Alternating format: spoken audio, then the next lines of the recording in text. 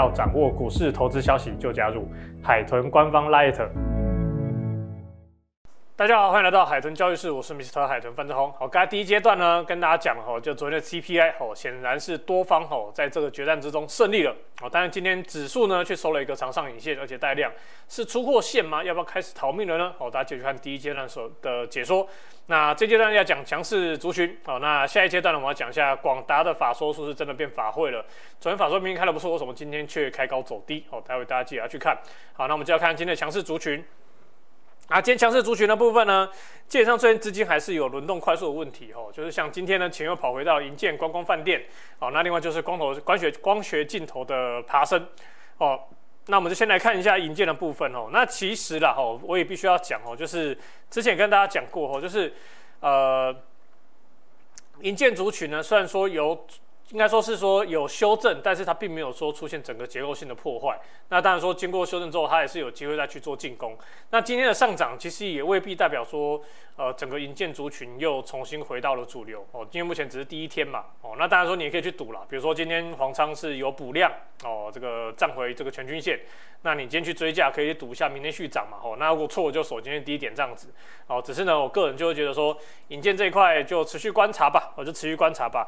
那再像是。一五一四五三的大将今天也涨停嘛？哦，那二五三七的连那个连上发，还有之前的哦，这银建股王五五零八的永信建哦，今天都有出现大涨。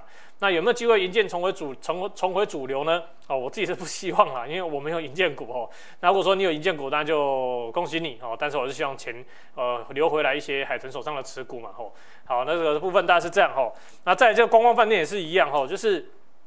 基本上目前都是处在一个族群还是比较处在一个快速轮动，然后但是呢，你说进又不又不是像海神昨天讲的哈，就是说留意接下来可能要转为弱势轮动，就是说今天可能大涨，明天就出货状况，所以目前这个状况也没有出现，所以呢，类股轮动变成是正向的快速轮动，就是今天大涨哦，明天休息，然后可能过几天之后哎再轮回来，那这个轮动的话状况我觉得还算是好事哦。那再就光学镜头部分，其实二三七四呢跟三零五九。哦，其实他们算是比较偏向机器人概念股哦，就是机器人上面的一些镜头哦的部分。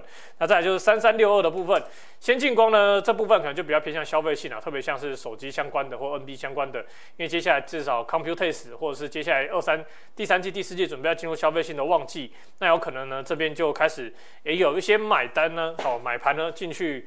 进去也不能说赌了哈，进去布局后面的行情哦，但是说这个延续性可能就需要再去做观察哦。整体来看呢，在今天的族群轮动大概就这一些。